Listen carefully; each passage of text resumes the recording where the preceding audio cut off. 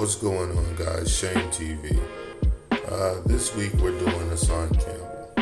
Now, again, I don't understand how um, the so the, the fame that he's gained, where it comes from, but this is how he came to us. You know, an alleged victim of pedophilia. Uh, it quickly turned into this. Uh, he became the big YouTuber. He became a celebrity gossip type guy, uh, street gossip type guy, uh, a know-all guy about the ins and outs of the streets and celebrity life.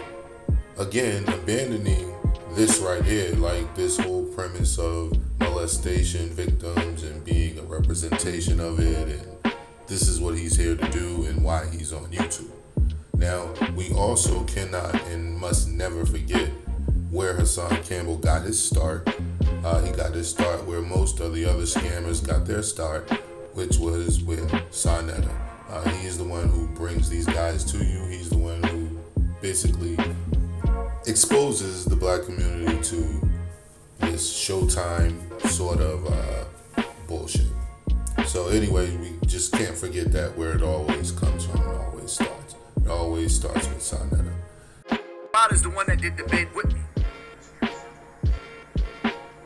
So he was locked up for murder too. No, he wasn't locked up, but he should have been locked up. He was my my getaway driver.